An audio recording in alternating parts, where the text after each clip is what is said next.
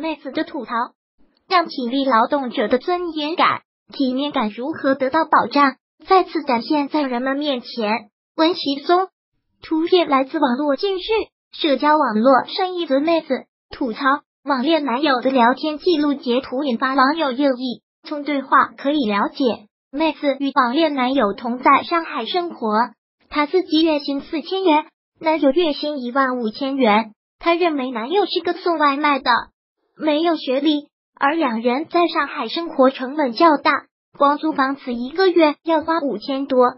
她感觉看不到未来。从网友的反应，大概可以归纳妹子的三宗罪：首先，三观不正，认为男友送外卖的身份给她丢人。我爸妈问我男朋友是做什么的，我都不敢说。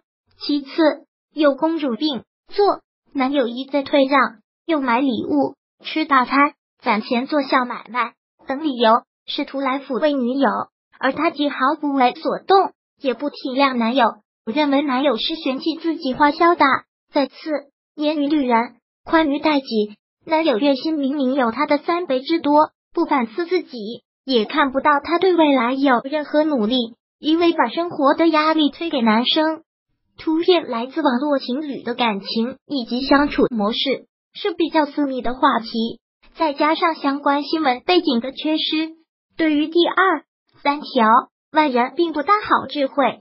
只要外卖小哥不介怀，大概属于一个月打一个月来。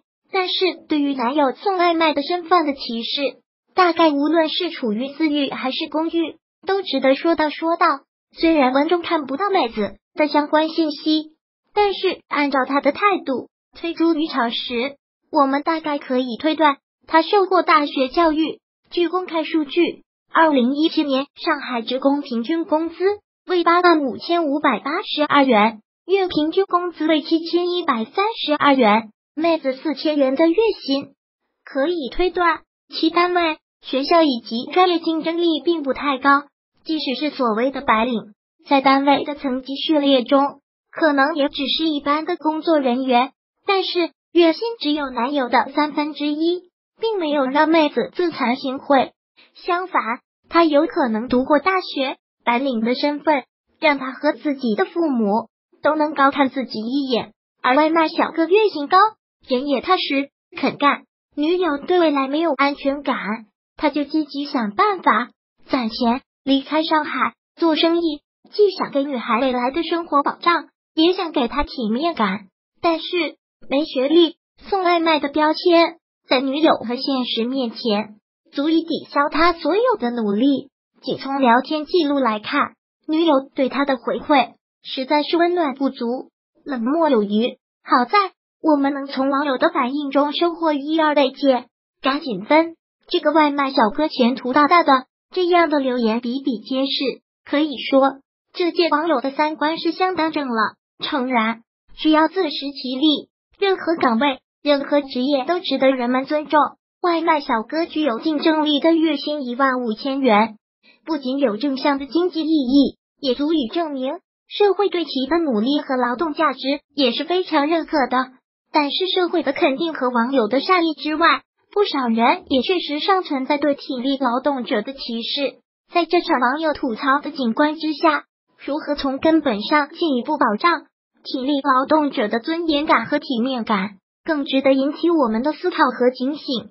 除此之外，妹子这种把对未来的希望全寄托在男友身上的婚恋观，在一些女性身上并不少见。电影《喜剧之王》截图不少影视剧作品，也体现了这种主题。《喜剧之王》里，六飘飘问野天球：“不上班你养我吗？”成为一幕经典。河东狮吼里。从现在开始，你只许疼我一个人，要宠我，不能骗我，答应我的每一件事都要做到。的经典台词也被不少小女生奉为情侣相处的圭臬。但是电视剧的童话故事在现实面前往往不堪一击。有人能养你，把你当公主，自然是一种幸福。但是相对独立，一起努力成长。你有你的同志铁干。我有我红硕的花朵的感情模式，更符合现代人的心境。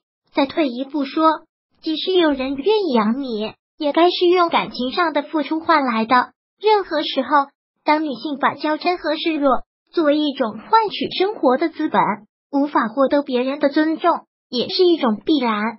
七松媒体人编辑陈静校对，王鑫。